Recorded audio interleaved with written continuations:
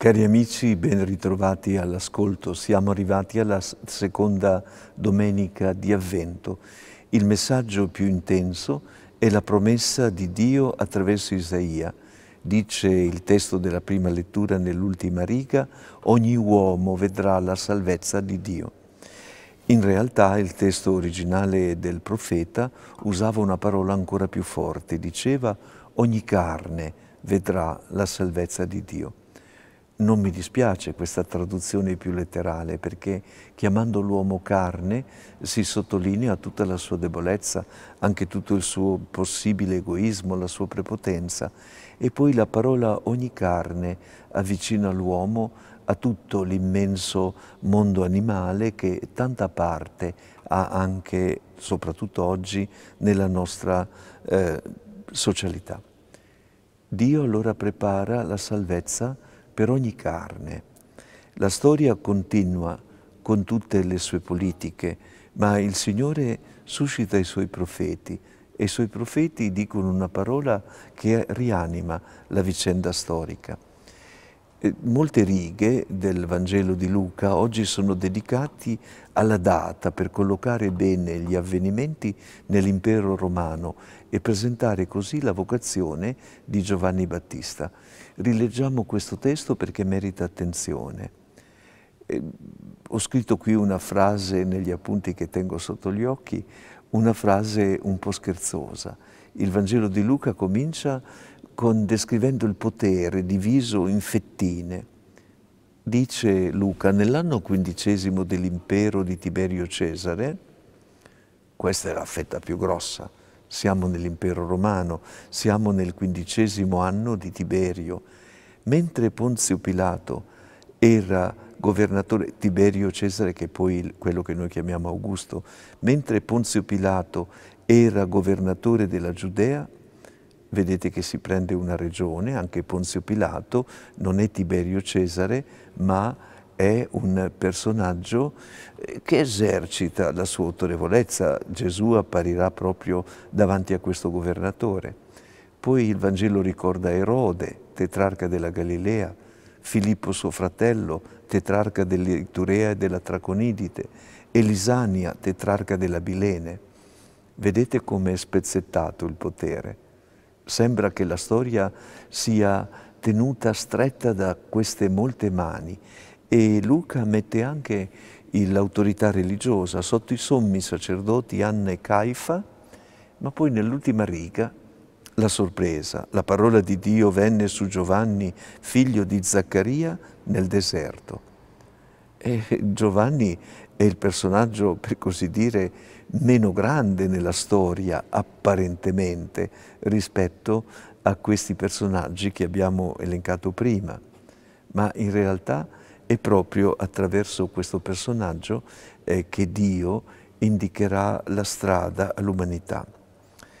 Giovanni Battista è stato mandato per preparare la venuta del più forte e questo più forte lo ha descritto nella maniera più grande possibile. Dice io non sono neanche degno di fargli lo schiavo, non sono neanche degno di togliergli i sandali, di aiutarlo ad aggiustare i calzari. E in questo modo eh, Giovanni rivela come la grandezza di colui che chiama il più forte è una grandezza smisurata, non è solo un uomo più in gamba di Giovanni, è qualcosa di incommensurabile. E allora Giovanni avanza la sua richiesta. Eh, per andare incontro a questo più forte occorre la conversione e la conversione può produrre il risultato finale del perdono dei peccati, della remissione dei peccati. Che cosa sono queste cose? Cerchiamo di renderle più concrete. La conversione è il cambiare mentalità. Cambiare mentalità perché si accetta la prospettiva di Dio. La conversione non è solo cambiare parte politica, a volte noi lo diciamo eh, in, per indicare uno spostamento ideologico, politico, ma qui cambiare mentalità in senso religioso significa assumere la mentalità di Dio, non guardare le cose eh, semplicemente così come appaiono a noi, come appare nel si dice dei giornali o dei telegiornali o della rete o di Facebook, ma cercare di vedere le cose dal punto di vista di Dio. La conversione è questo. I profeti come Giovanni Battista ci indicano proprio questa strada. Il cambiare mentalità accettando la prospettiva di Dio, che è offerta soprattutto in Gesù, che è testimoniata soprattutto da Gesù. E qual è la conseguenza di questa conversione? È il perdono dei peccati, cioè il superamento di tutte le cose che in noi sono difetto, egoismo, unilateralità, ingiustizia. Il cambiamento allora del, della realtà avviene sotto una duplice spinta. Ci sono due forze complementari. Da una parte c'è l'uomo che si impegna a trasformare, si impegna a superarsi, si impegna ad andare al di là del convenzionale, andando verso la verità. Qualche domenica fa ascoltavamo Gesù dire a Pilato, chi viene dalla, veri chi chi viene dalla verità ascolta la mia voce. E dunque c'è un contributo nella storia che viene dall'uomo, che è essenziale. E Dio che cosa fa? Dio completa questo qualche cosa che l'uomo fa con il dono della remissione dei peccati. E si può illustrare questa cosa molto facilmente dicendo certamente io domani posso fare meglio, posso fare meglio di oggi, se mi impegno di più, posso correre di più, posso allargare le braccia di più.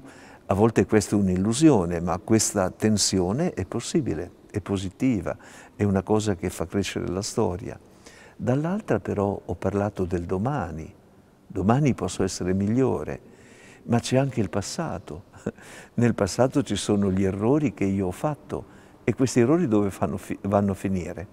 Se ho fatto dei buchi, quei buchi restano?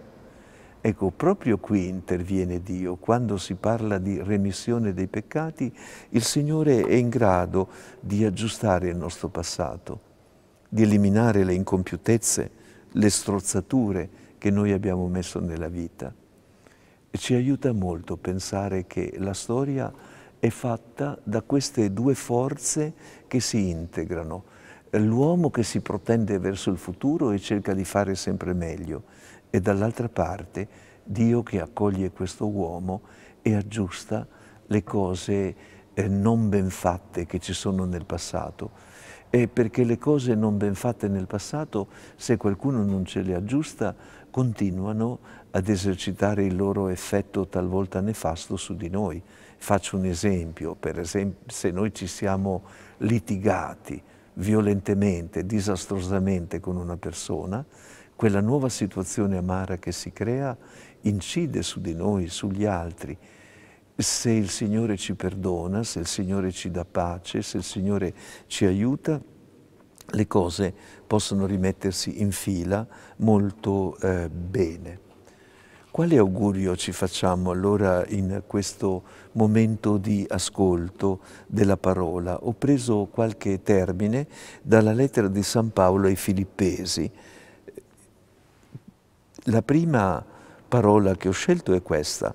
Colui il quale ha iniziato in voi quest'opera buona la porterà a compimento fino al giorno di Cristo Gesù.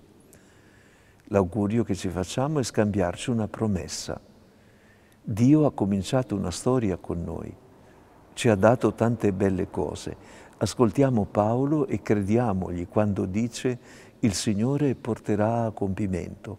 L'augurio è questo, il, colui che ha iniziato in voi il bene lo porti a compimento.